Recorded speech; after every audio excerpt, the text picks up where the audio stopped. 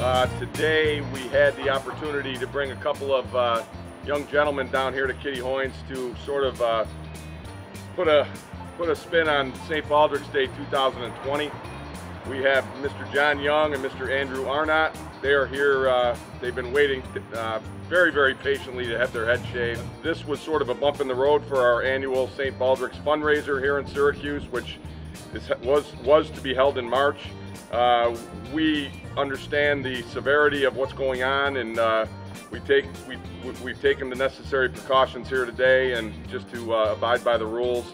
But again, we want to thank those first responders and uh, the, the, nurses, the doctors, all the people uh, that are taking care of the folks in the public. So thank you very much.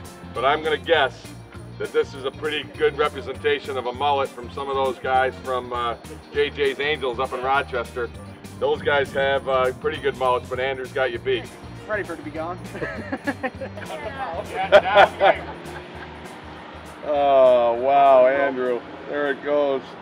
I like these scissors. These are good.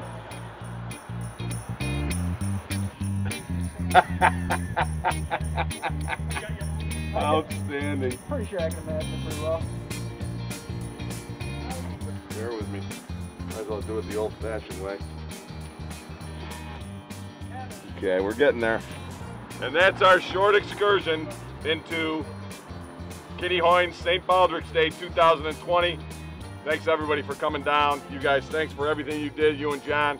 And uh, we look forward to seeing everybody very, very soon. I'm, we're going to say again, we're going to have one hell of a party when this thing opens up. We're going to invite everybody that would have been here on March 29th, and we're going to have one hell of a time, and uh, we might even get the Clippers out that day. So thanks.